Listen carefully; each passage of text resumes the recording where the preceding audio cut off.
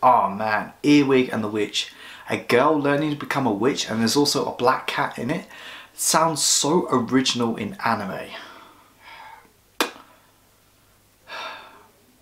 After seven years, this is the best that Studio Ghibli can come up with.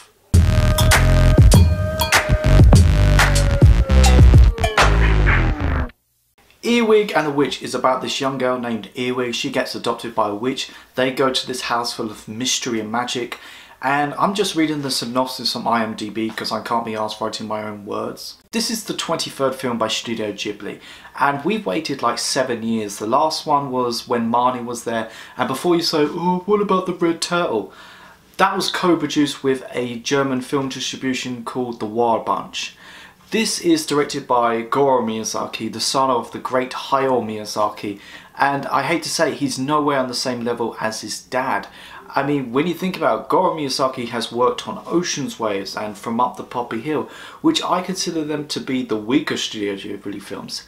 And again, I hate to say it, Earwig and the Witch is another weak film by a beloved, one of the greatest animation studios.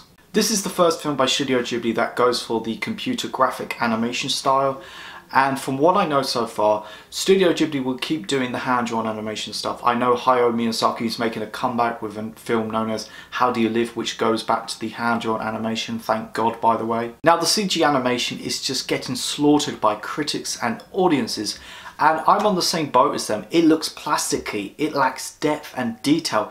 It looks like a cutscene from a PlayStation 2 game. I appreciate a lot of people put effort into this and it's not embarrassingly bad but I've seen bad films from other studios like Pixar, Disney, DreamWorks with better animation. It's easy to point the finger at the animation but to me it's the lack of story that really drags this film down for me. Earwig and the Witch is full of potential and I'm not gonna lie there's some really cool ideas to this film but the film never really explores them. By the end of the film, it feels like an end of an Act 1. It could have had an extra 30 minutes just to enrich the story. The way the film ends with Earwig opening the door to her long lost mum. The problem is Earwig doesn't know that's her mum. I mean, the film never explores that. All she knows that the red-haired woman was in a band and she's actually, she was good friends with the people that adopted her. I mean, this would have more worked more efficient if this was like a 12 episode anime. Plus, Earwig is just so unlikable, personality and design wise. Her hairpiece makes her look like some sort of bug. And her personality, the way she gets adopted at the beginning and all her friends say goodbye to her, she just walks off and she never sees them again. She just ignores them. She's just so arrogant and annoying. Overall, Earwig and a Witch was a mediocre comeback from a beloved animation studio.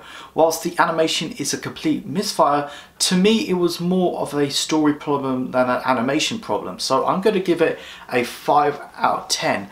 If this was like a first film from a new anime studio, I would have been less harsher on it, but due to the fact this is done by the greatest anime studio, it doesn't hit that high bar that we want from Studio Ghibli. Thank you so much for watching this video guys, go like, share and subscribe. Let me know what did you think of Earwig and the Witch. Go check out my Facebook, my Twitter and my Instagram page. You guys are awesome, I've got your back.